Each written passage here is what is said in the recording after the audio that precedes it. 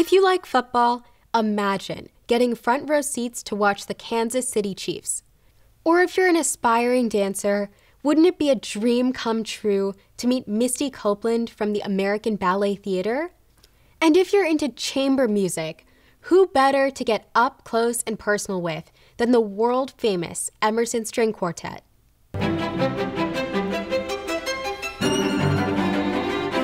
Emerson String Quartet has been making music for almost five decades.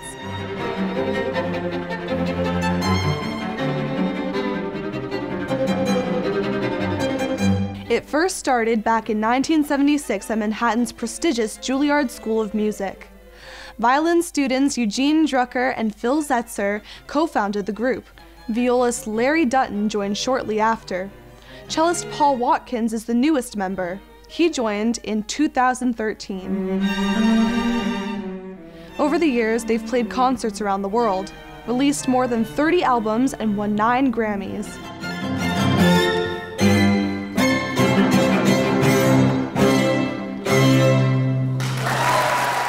But now the quartet is getting ready to take their final bow.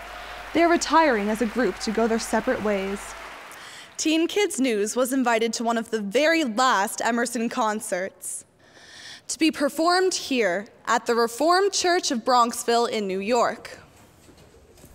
Also invited are these four teens. They're all students at Concordia Conservatory, a highly respected music school in Bronxville, New York.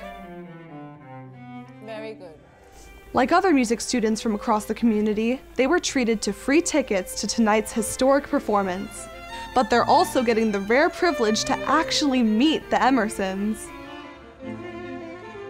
Looking forward to meeting the Emerson String Quartet because they're obviously very legendary, multiple Grammy Awards. Um, you know, it's like seeing Derek Jeter or Babe Ruth's last at bat. You know, it's um, it's like a once in a lifetime opportunity. And they're super inspiring to violinists or just musicians in general like me. And I'm really excited to see them. I've seen them play when I was little, so I would like to see them again. So um, I'm very excited. The reason why I wanted to come was because they're such an amazing group, and I, I just want to see them play the final bow.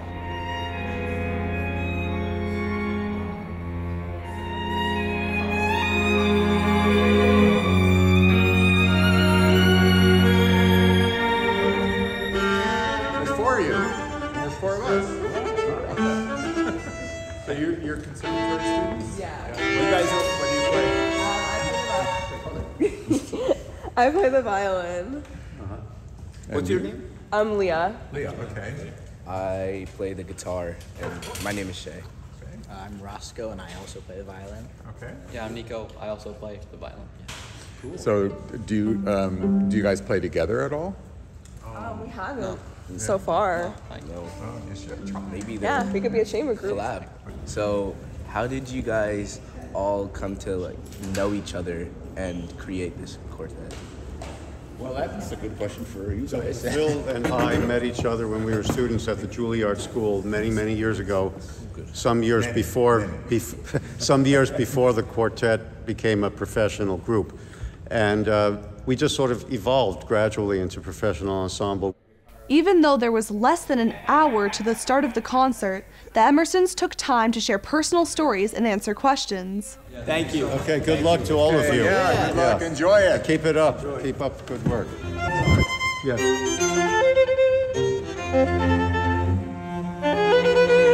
It must have been especially exciting to have front row seats to watch the quartet rehearse.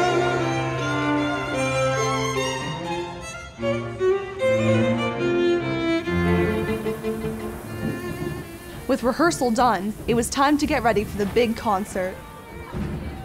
Despite the heavy rain, the church was packed for the special performance.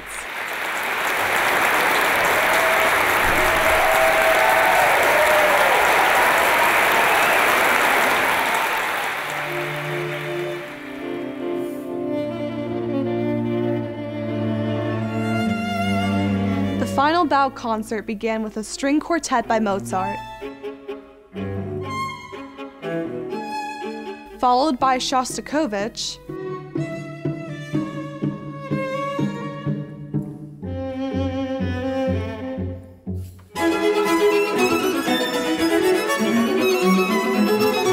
Then Beethoven.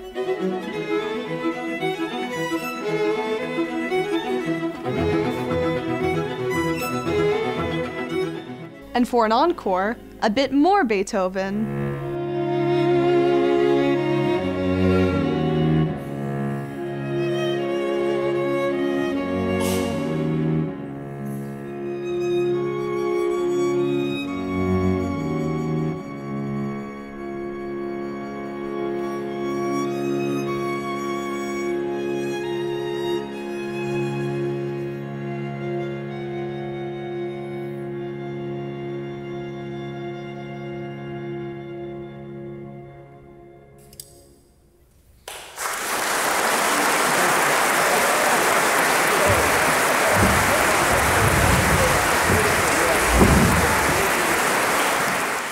Honestly, the mixed um, and different emotions that come through the uh, strings, it's uh, amazing and wonderful. It, it was so inspiring for me, you know, to become professional. I just want to be just like these guys.